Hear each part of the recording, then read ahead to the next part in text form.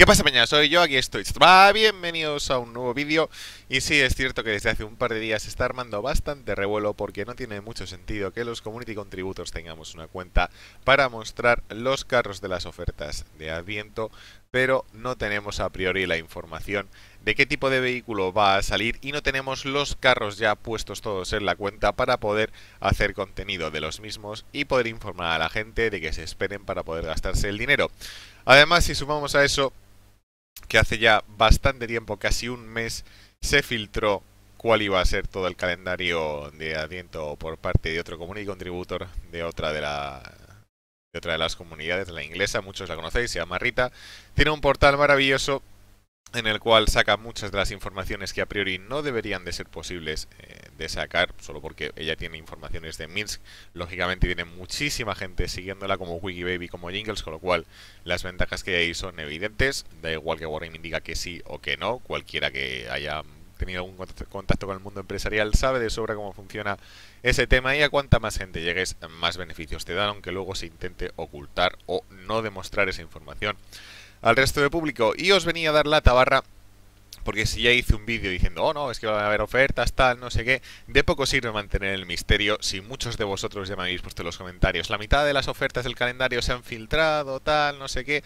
Sé que es cierto que todos los años ocurren filtraciones en este aspecto, y sí que es cierto que pocas veces se ha equivocado, pero es que este año no se ha equivocado en ninguno de los vehículos que han salido, y en los únicos que se ha equivocado es porque había puesto que no tenía claro cuáles iban a salir ese día. Hoy, día 11 de diciembre, de 2016 tenemos la oferta del KV5, el día anterior fuera de la MX357, el día anterior Type 59 Patton, un año Premium, el VK y bueno, donde os quería decir es que ya no tiene sentido, como os he dicho, eh, toda la emoción de decir, oh, ¿qué va a salir? ¿Qué va a salir? Eh, para... Y además, como recomendación personal para que no os gastéis el dinero absurdamente diciendo, oh, pues me voy a comprar un tanque, pero no sé lo que va a salir y demás.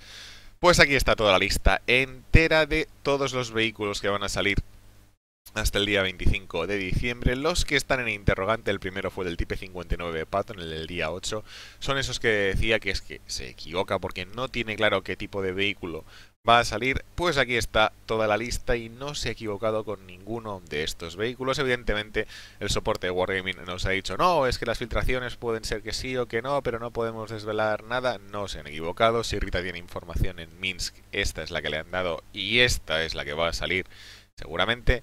Día 11, KV5, qué sorpresa, seguramente mañana. Día 12 salga el Scorpion, seguramente pasado el Jack Tiger, el IS-3A. El día 15 un vehículo que todavía no está especificado. Y esto es lo que os iba a decir de toda esta lista de vehículos que aparece aquí ahora mismo, aparte de la oferta del año Premium, que estaba bastante bien, que ocurrió el día 6 de diciembre. Lo único que os puedo decir es, si queréis compraros algún tipo de vehículo sin esperaros al 24 a ver ese vehículo nuevo, cuál es el que sale, y queréis gastaros el dinero en alguno de estos vehículos que no sea muy caro, que sea un vehículo casi mejor que su homónimo sin ser premium, que sea uno de los más divertidos de su tier, os vais a esperar aquí al día 19 y el día 19 os compráis el Cromwell Berlín que salvo, salvo, salvo, salvo que hayan vuelto a las andadas el día 19 de vender un paquete por 90, 100 euros con este tipo de vehículos que te dan 50.000 de oro, 5 eh, huecos de garaje, equipamiento y demás, lo normal es que el vehículo no cueste más de 15 euros, no debería de costar más de 15 euros siendo un tier 6, 17, 18, incluso como mucho, mucho, mucho, mucho. Pero este vehículo, el Cromwell Berlin, es posiblemente uno de los mejores carros que hay en el juego en tier 6. Además es premium, hace dinero, se utiliza en escaramuzas de tier 6, se utiliza en clan wars de tier 6. En tier 6 os vais a divertir un montón y es un vehículo absolutamente espectacular. Del resto, el M41 está bastante bien. Es un ligero de tier 8, pero si no os gustan los ligeros, pues evidentemente no, no os lo vais a poder pillar. Y mi cosa en este aspecto es que, aparte del descontento evidente que existe por parte de toda la comunidad, y no había hecho un vídeo porque todavía decía, esto suele pasar más o menos todos los años. Este año se le está dando mucho revuelo, pero esto suele pasar todos los años. Todos los años utilizan campañas de invierno, todos los años Wargaming da presupuesto a eventos y a situaciones en las cuales no se deberían dar porque supuestamente a nosotros nos dicen que no hay, pero al resto de gente se da, con lo cual no sé si engañan al staff europeo, no se engañan a nosotros. La cosa es que se hace, oye, su empresa, no son tontos, saben hacer números, es muy sencillo hacer números y le rentará. Lo que os digo es que desde luego no quiero, a pesar que la gente diga, oh, es que a veces haces vídeos sobre tanques premium y quieres que no gastemos el dinero. No, realmente de los que hay aquí en este listado, si fueses inteligentes diría, gastaros el dinero si no queréis un tier 8 premium, sino que si lo que queréis es un tanque realmente espectacular, tenéis el Cromwell Berlin, es una auténtica pasada de carro, es de los más baratos que va a haber en todo el calendario, esperemos, esperemos, no sé cuál va a ser la oferta, pero esperemos que no sea especialmente cara y que no hagan un paquete de 100 euros como os he dicho antes. Y lo que no quiero es que se tire el dinero. Que digáis, hoy pues que no sé qué voy a hacer, qué voy a hacer, me espero, no me espero. El problema de las ofertas de Adviento, evidentemente, es que al día se cierran y se solapan con la del día siguiente. Y yo, como tengo el Cromwell Berlin en este caso, me voy a esperar al día 24 a ver qué nuevo supuesto carro premium es el que sale. Pero como os he dicho, mi recomendación en este aspecto sería eso, no, y no tenía sentido mantener la, esperanza ni, mantener algún tipo de información oculta de decir, oh, a ver qué, oferta sale, qué vídeo hace y demás, tal. Yo ya os he dicho, de todos los vehículos que aquí de momento puestos, salvo los vehículos del día 17 al 21, sin contar el Cromwell Berlin, que no sé cuáles van a ser, de todos el resto de vehículos ya los he probado.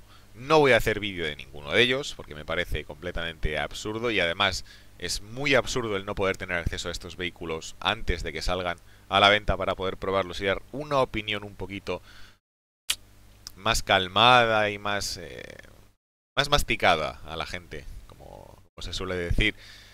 Y es, que es muy sencillo hacer lo que ha hecho otra gente de coger y decir, pues en vez de cogerme la cuenta y jugar partidas, lo que hago es me voy a World Replays y subo las replays de este tipo de vehículos que llevan allí ya meses, algunas de las replays porque evidentemente el ISU 122 se ha salido ya antes en otros servidores y muchos de los vehículos que supuestamente van a salir y que han salido especiales pues no son tan especiales y llevan mucho tiempo ya en la página de las repeticiones.